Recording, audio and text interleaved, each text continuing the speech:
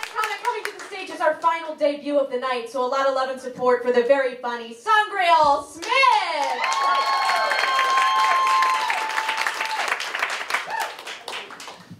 Wow, New York City. I cannot believe I'm here. I'm from Alabama, so that's kind of a big deal for me.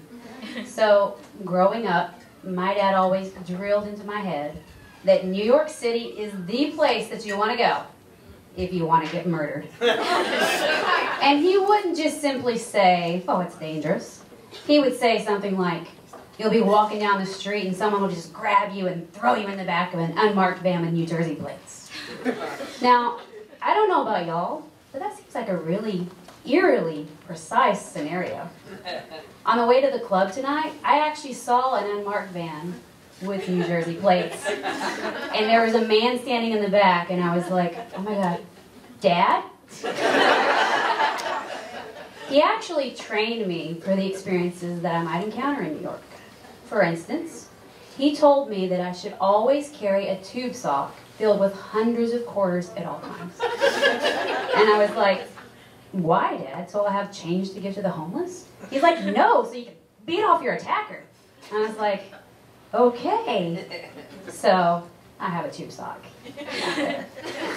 um, also, my dad was so certain that I would be kidnapped that he actually took me to the local high school parking lot and literally physically showed me how to roll out of a moving vehicle. so, I know how to do that now. If the vehicle is going three miles per hour. now, I don't want y'all to think that my dad hated New York City. Right? He did not hate New York City. He actually reminded me that I could be kidnapped at any time, anywhere, not just New York. Right? So he enrolled me and my siblings in karate. And he, in order to test our defensive skills, he told us that he was going to hire actors to attack us. We would not know when, we would not know where. They could be actors, they could be the real deal. So be ready. So recently I went to a Broadway play, right? The curtain goes up, I see the actors, and I'm like, hi All right. The first day of kindergarten, I'll never forget. The teacher says, you know, tell me one thing that, that you learned from your parents. One little girl says, I learned how to tie my shoes. And another one says, I learned how to spell my name. And I said, I learned how to sit with my back to the wall so as to always keep an eye out for the enemy. my dad owns a used car lot.